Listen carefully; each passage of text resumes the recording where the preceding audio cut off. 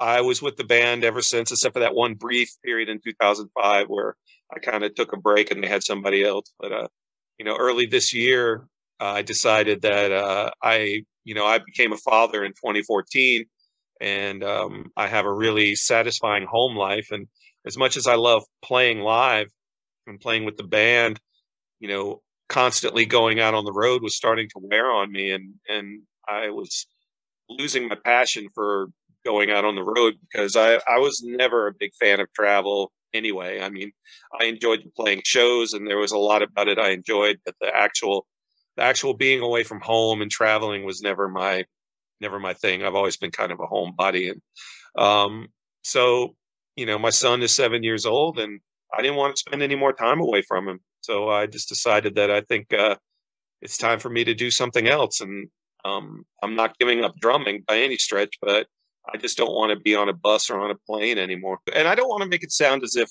touring was some kind of hardship because no. you know it wasn't. We got to we got to tour at a, at a at a decent level, but being away from people you care about is being away from people you care about, no matter no matter what you know, no matter how nice the bus is or how nice yeah. the venues are, or or you know how nice the catering or the hotels or anything like that is. Is if you don't see your son for weeks at a time, especially when he's seven years old and he's growing every day, you know, all those things matter less and less. And uh, I was just getting to the point where I just wasn't happy. I would begin almost every tour um, with this really deep feeling of, you know, I don't want to, I don't want to be away from him. I want to be home.